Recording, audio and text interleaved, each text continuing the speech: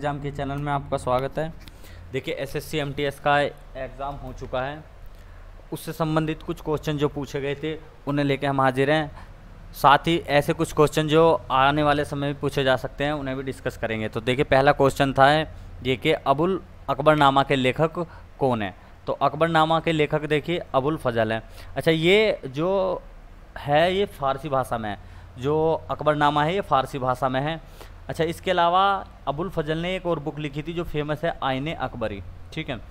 जो, एक एक क्वेश्चन ये है, अबुल फजल जो है, अकबर के नवरत्नों में शामिल थे। यानी कि जो अबुल फजल थे, अकबर के दरबार में जो नवरत्न थे, उनमें ये शामिल थे। नेक्स्ट क्वेश्चन शीश महल का निर्माण किसके द्वारा कराया गया?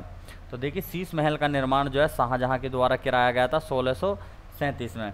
अच्छा इसको हमाम कहा जाता है, जो इनकी भाषा में हमाम कहा जाता है और इसको तुर्की हमाम के रूप में डिज़ाइन कराया गया था। एक फैक्ट अलग ये है कि जो शीश महल है, एक शीश महल पटियाला में भी है। एक पटियाला जो शहर है हमारा, वहाँ पे भी एक शीश महल है। हालाँकि उसको कहा जाता है द पैलेस ऑफ़ मिरर के नाम से जाना जाता है और इसको अट्ठारह में महाराजा नरेंद्र सिंह ने बनवाया था। ठीक है? एक क्वेश्चन यहाँ आता देखिए, छठ पूजा में किस देवता की पूजा की जाती है? तो देखिए, छठ पूजा में सूर्य देवता की पूजा की जाती है। अच्छा छठ पूजा से संबंधित कुछ डाटा मैंने आपके सामने स्क्रीन पर भी लिखा हुआ है। ये पीडीएफ आपको एज इट इज़ मिल जाएगी। एज इट इज़ आपको पीडीएफ मिल जाएगी। उसके लिए आपको चैनल पे जाना पड़ेगा, जो टेलीग्राम चैनल है हमारा। उसका लिंक मैंने वीडियो के डिस्क्रिप्शन में दिया है, आप वहाँ से उस चैनल पे चले जाओ, वहाँ सारी पीडीएफ एक साथ आपको मिल जाएगी।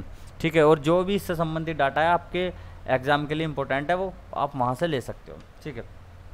अच्छा एक क्वेश्चन ये आया था कि देव समाज की स्थापना किसने की थी? जो, देव समाज है, इसकी स्थापना किसने की थी? तो देखिए, देव समाज की स्थापना शिव नारायण अग्निहोत्री ने की थी। देव समाज की स्थापना शिव नारायण अग्निहोत्री ने की थी। अच्छा ये जो स्थापना की थी अट्ठारह में की थी, ठीक है, अठारह सौ सतासी में। उससे पहले ब्रह्म समाज से जुड़े थे। ठीक है, अठारह सौ सतासी में इन्होंने ब्रह्म समाज को छोड़ा और उसके बाद देव समाज की स्थापना की।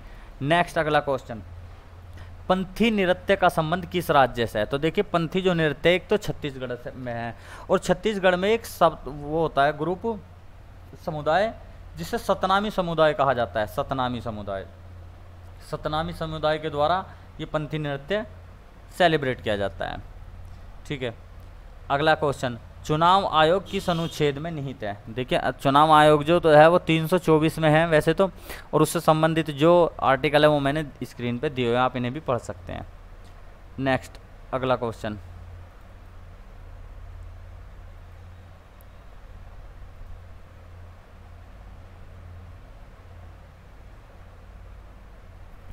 जलोढ़ मिट्टी का रंग कैसा होता है? अगला क्वेश्चन है, जलोढ़ मिट्टी का रंग कैसा होता है? तो देखिए, रंग तो हल्का धूसर होता है बाकी जो जलोढ़ मिट्टी है, ये भारत में सबसे अधिक क्षेत्रफल पे पाई जाती है। यानी कि भारत के तैतालीस परसेंट क्षेत्रफल पे पाई जाती है तो यानी कि बहुत यूज़फुल है। अच्छा इसे दोमट मिट्टी भी कहा जाता है। जो जलोढ़ मिट्टी है, इसको दोमट मिट्टी के नाम से भी जाना जाता है। इसके अलावा दूसरी जो है, काली मिट्टी है, जो भारत में दूसरे स्थान पर है। अच्छा ये जो काली मिट्टी है, महाराष्ट्र और गुजरात में ज़्यादा पाई जाती है। अच्छा इसको कई उपनाम से जाना जाता है। जैसे काली मिट्टी इसको अगर दक्षिण भारत में जाओगे, आप रेगुर के नाम से जानते हैं। और इसको केरल में साली के नाम से जानते हैं और उत्तर भारत में इसको केवाल के नाम से जाना जाता है, काली मिट्टी को अच्छा एक ये होती है लाल और पीली मिट्टी। देखो, मिट्टी में आयरन ऑक्साइड ज़्यादा होता है, जिसकी वजह से इसका रंग लाल दिखाई देता है। और जब वर्षा की मात्रा अधिक हो जाती है तो यही लाली, लाल मिट्टी पीली मिट्टी में कन्वर्ट हो जाती है। इसके अलावा देखो, कुछ और मिट्टी के बारे में मैंने बता, लिखा हुआ है, आप ये भी पढ़ सकते हो। ठीक है? नेक्स्ट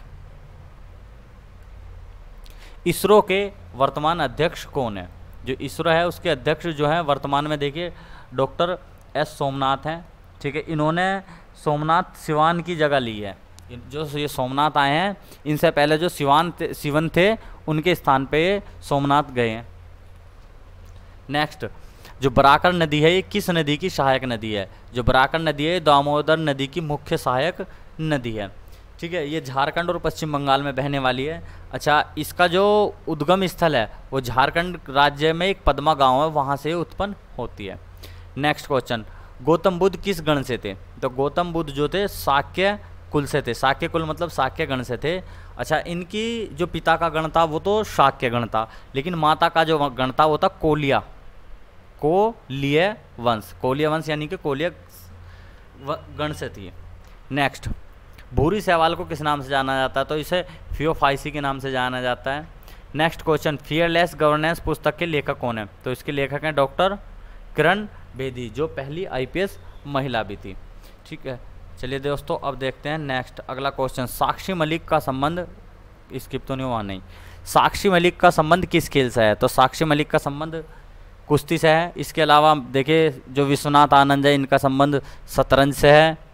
और हर्षित राजा, इनका भी संबंध शतरंज से है और बैडमिंटन से संबंधित श्रीकांत और सीमा पूनिया डिस्कस थ्रो से संबंधित हैं।